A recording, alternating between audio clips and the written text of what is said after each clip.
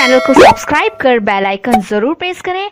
हमारी new video राष्ट्रीय बजरंग सेना आज दिनांक सहपुरा जनपद पंचायत सीईओ का पुतला दहन किया गया, जिसमें बजरंग सेना जिला अध्यक्ष संजू ठाकुर के द्वारा बताया गया सीईओ का पुतला दहन करने का मुख्य उद्देश्य जनपद क्षेत्र के पंचायतों में हो रहे भ्रष्टाचार दिए गए विज्ञापनों पर कोई कार्यवाही नहीं की जा रही और ज्ञापन को दबा दिया जाता है। संजय ठाकुर के द्वारा बताया गया कि यही हमारा उद्देश्य है और जब तक इन ज्ञापनों की जाँच नहीं करवाई जाती तब तक हम आगे और धरना प्रदर्शन चक्का जाम करेंगे। उनके द्वारा नारे भी लगाए गए। जनपद सीओ भ्रष्टाचार बंद करो ज्ञापनों की जाँच करो। भ्रष्टाचार बंद करो। बंद करो बंद करो ज्ञापनों की जाँच जाँच करो ज्ञापनों की जाँच करो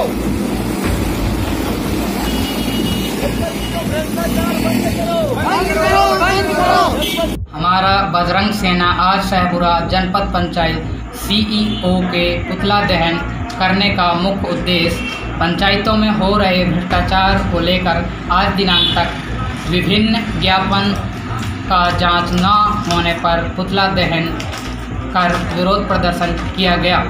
हमारा उनके प्रति कोई मन को ठेस पहुंचाना नहीं है, केवल ज्ञापनों की जाँच करना है। इसी को लेकर हमारा नारा था, जनपद सीओ, भ्रष्टाचार बंद करो, ज्ञापनों की जाँच करो।